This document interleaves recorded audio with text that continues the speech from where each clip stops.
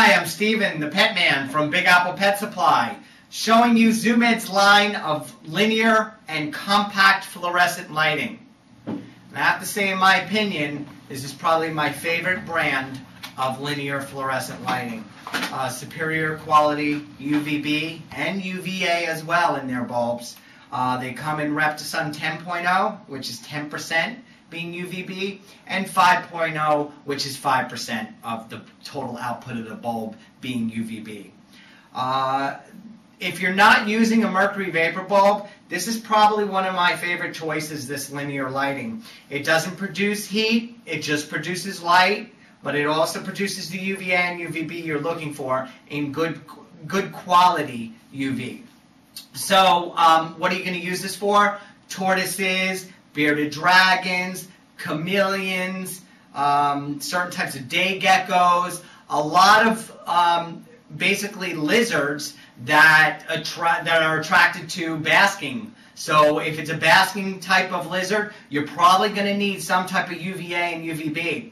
In this case, if you're not going mercury vapor bulb, again, I do like these products. Uh, Zoo Med makes a great brand. They've been out there for a decade and change. Uh, we've been selling them, I think, for 15 years. So uh, it's it's tried and true, and, and we really like them. I'm going to kind of take you a little bit through how you might use these bulbs. Um, you can use them on a screen top. You can use them without a screen top. Just remember that without a screen top, the UV is stronger, although I'm not majorly concerned with this type of product being too much UV unless you don't give your animal any escape from it. But the, the main idea is to allow your reptile to go into the light and also have a place where they can get away from the UV and the light.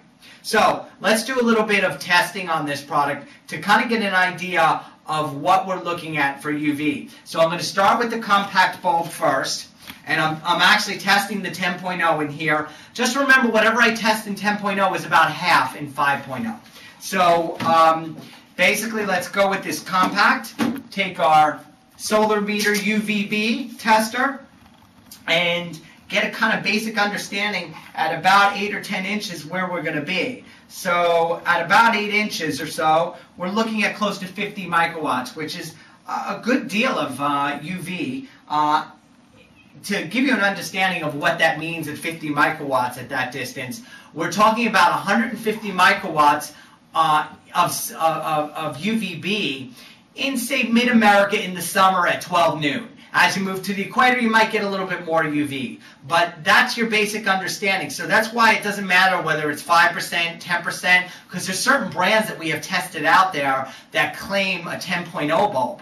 But the bulb outputs so little that 10% of 10 total watts, uh, putting out 10 microwatts, is a very small percentage. So it's not important the percentage. What's important is the actual amount of microwatts coming out of the bulb. So like I said, 10% of nothing is nothing.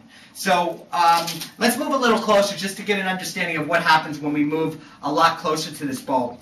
Uh, once we're only at about 4 or 5 inches, we're at 100 microwatts of UVB. So you can see it doubled as you go from, say, 4 or 5 inches to, say, 8 to 10 inches. Um, either way, I'm happy with the performance of that quality amount of UV. It's a good amount of UV.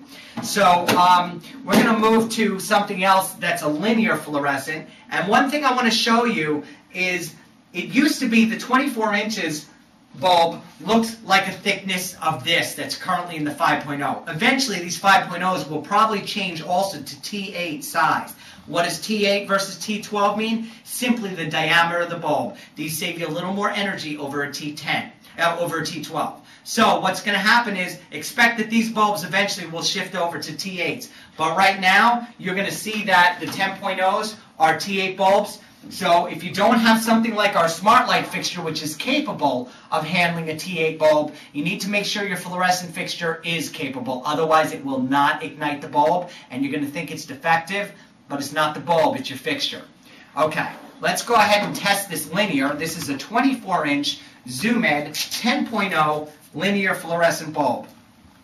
Okay, so we're getting at about uh, 5, 6 inches away here we're at about 75 microwatts, If we move a few inches in, we go down to about 110 microwatts. That's at about three, four inches from the bulb, probably about four.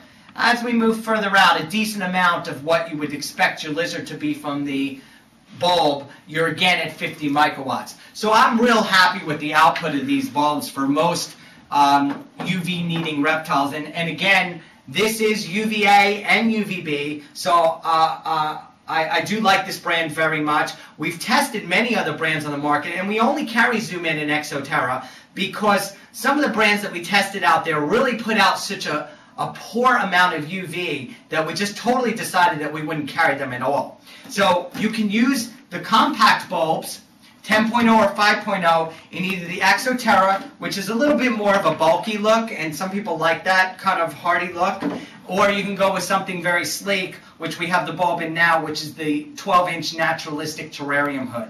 So um, that's the that's the basis of of this type of product. It can be utilized many different ways, but it is an excellent way to give your animal the light the UVA and UVB that it needs. And UVA is more psychologically beneficial, whereas UVB is going to basically give your animal the ability to assimilate calcium.